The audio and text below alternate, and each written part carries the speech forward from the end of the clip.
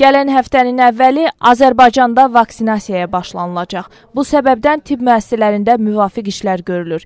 Peyvəndlərin saxlanılmasında problem yaranmaması üçün lazımi avadanlıqlar tibb müəssisələrinə gətirilir. Hazırda 2 saylı şəhər poliklinikasındayıq. Gördüyünüz bu ə, otaqlarda vaksinasiya prosesi həyata keçiriləcək.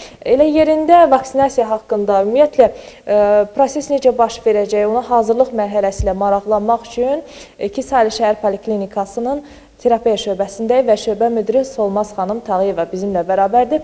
Solmaz xanım, e, bilirik ki, artıq otaqlardan da göründüyü kimi hazırlıq gedir.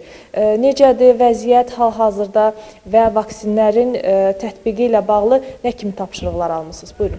Biz Səhiyyə Nazirliyinin və qərargahın tapşırığı ilə peyvənd işlər, vaksinasiya işlərinə hazırlıq işləri görməyə başlamışıq. Bu məqsədlə poliklinikamızda 3 dənə otaq ayırmışıq. Bunlardan ikisi vaksinator otağı olacaq, o birisi isə deməli qeydiyyat otağı və həkim məsləhət otağı olacaq ki, həkim baxışından keçiləndən sonra, qeydiyyatdan keçəndən sonra vaksinasiya otaqlarına göndəriləcəkdir.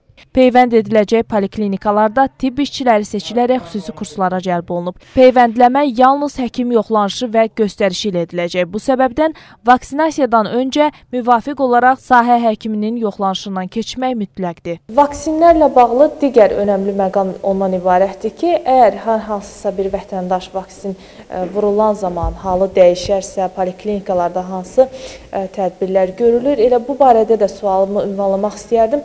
Doktor, e, həmin anda, yəni nəzərə alsaq ki, ehtimalı çox aşağıdır, amma yenə də hər ehtimala qarşı vaksindən sonra özünü yaxşı hiss etməyən vətəndaşlarımız üçün hansı tədbirlər görüləcək? Vaksinasiya gələn şəxslərin hamısı həkim müayinəsində keçdikdən sonra vaksin göndər vaksin vurulacaqdır ona.